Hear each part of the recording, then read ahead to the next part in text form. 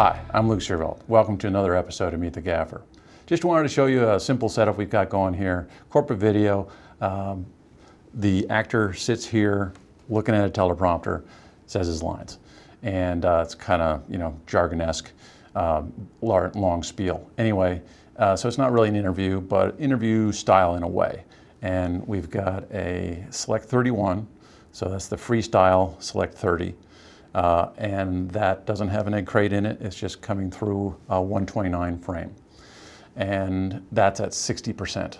And then we have the window in the background, and so the key is kind of on the window side, but it wraps it a little bit more, so it's a little more uh, front, a little more pleasing on the face.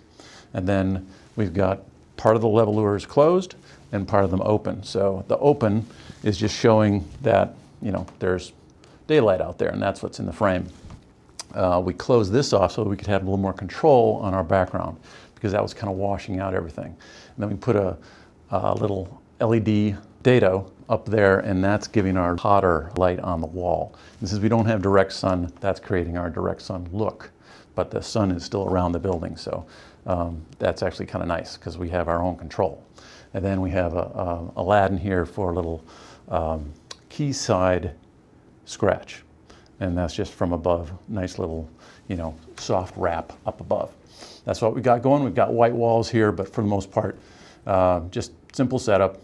Uh, make something look good in a room that is kind of plain. Here in another scene, we've got a Select 31 through a soft bag, giving us a nice uh, wrappy key. And from the window side, we've got a two-foot Quazar Science uh, tube. Uh, here we've got two of them. One is a scratch, one is a key and I'm pretty new to them.